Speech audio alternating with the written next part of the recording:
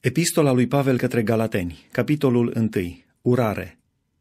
Pavel, apostol nu de la oameni, nici printr-un om, ci prin Isus Hristos și prin Dumnezeu Tatăl, care l-a înviat din morți, și toți frații care sunt împreună cu mine, către bisericile Galatiei.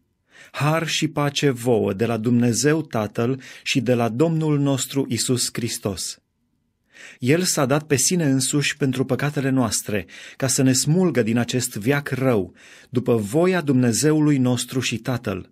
A Lui să fie slava în vecii vecilor. Amin.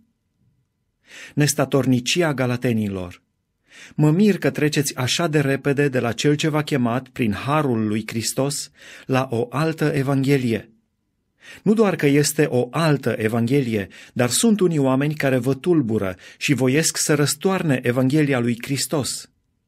Dar chiar dacă noi înșine sau un înger din cer ar veni să vă propovăduiască o Evanghelie deosebită de aceea pe care v-am propovăduit-o noi, să fie anatema. Cum am mai spus, o spun și acum. Dacă vă propovăduiește cineva o Evanghelie deosebită de aceea pe care ați primit-o, să fie anatema. Caut eu oare în clipa aceasta să capăt bunăvoința oamenilor sau bunăvoința lui Dumnezeu?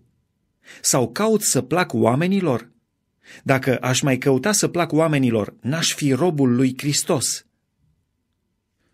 Evanghelia lui Pavel Fraților, vă mărturisesc că Evanghelia propovăduită de mine nu este de obârșie omenească, pentru că n-am primit-o, nici n-am învățat-o de la vreun om, ci prin descoperirea lui Isus Hristos. Ați auzit în adevăr care era purtarea mea de altădată în religiunea iudeilor.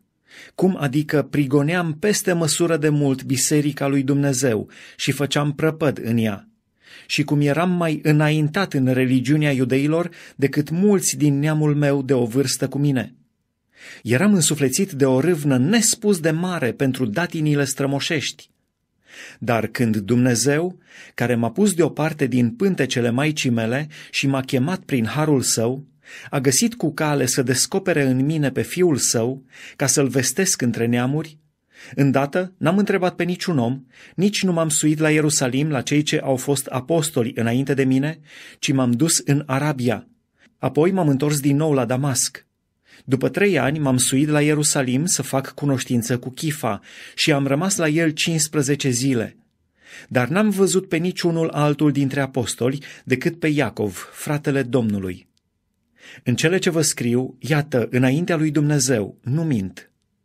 După aceea m-am dus în ținuturile Siriei și Ciliciei și eram încă necunoscut la față bisericilor lui Hristos care sunt în Iudeea. Ele auzeau doar spunându-se, cel ce ne prigonea odinioară, acum propovăduiește credința pe care căuta să o nimicească odinioară. Și slăveau pe Dumnezeu din pricina mea.